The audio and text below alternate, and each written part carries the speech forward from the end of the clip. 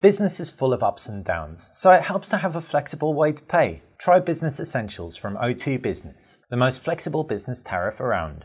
Hey guys, you're watching BTech Basil here, comparing the Microsoft Lumia 950 XL with the HP Elite X3. The Elite X3 is an absolute behemoth. It's got an 820 processor, 4 gigabytes of RAM, it's rigid, it's robust, it's IP67 waterproof.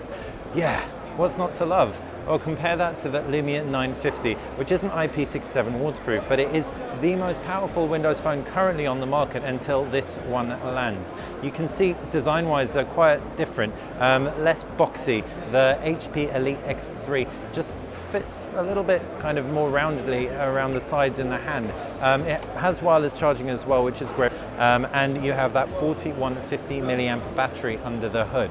As for the Microsoft Lumia 950 XL, it's a much, much boxier device. Real Lumia design heritage there. You've got a 20 megapixel snap around the back, no less than three flashes. The 950 XL was a bit of a disappointment design-wise, and while the HP Elite X3 is no style queen, um, it definitely, for the six-inch center stage display, um, grabs all the attention here.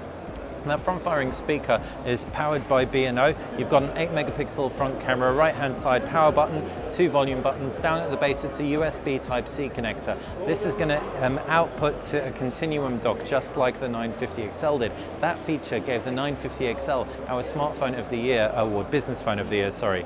Left-hand side, you've got a volume rocker. Um, actually, you don't. You have what looks like a slot, which we can actually is it a volume rocker or a slot? Yeah, it's a slot. Um, so that will probably be where the SD card fits in. Up the top, 3.5 millimeter headphone jack, while around the back, that camera, um, like I said, 16 megapixels plus flash, wireless charging supported. The Lumia 950, like I said, boxy device, but what you do have, which you don't have on the Elite X3, is a physical camera button. It's a two-stage camera button to power up that optically image stabilized uh, 20 megapixel snapper.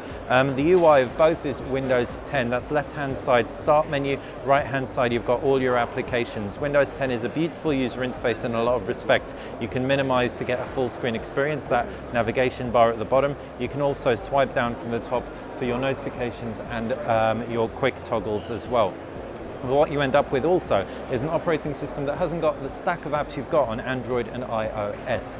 Now, if you take a look at productivity apps, it's a different story because you've got Office 365, which works beautifully well on here and on the Continuum dock too. So definitely for a business trying to kit out their workforce with waterproof, water-resistant devices, um, packing 64 gig of internal memory, micro SD card expandability, and battery for days, this could well be the champion here. Like I said, said, that 820 processor is the most powerful on the market, 4 gig RAM, you will have no trouble. It's an alpha build of the software, so it's not going to perform too fantastically, but definitely these will be the two powerhouses of the Windows 10 world. We've taken a look at the Acer Jade Primo.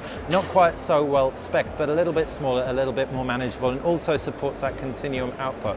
Um, a little bit closer to launch, that will launch at 599 euros, I believe. If you've got any questions about either of these phones or, and want us to ask HP anything about the Elite X3, just fire them in the comments section below. Like this video, then click like and subscribe to the channel for more information. Thanks for watching.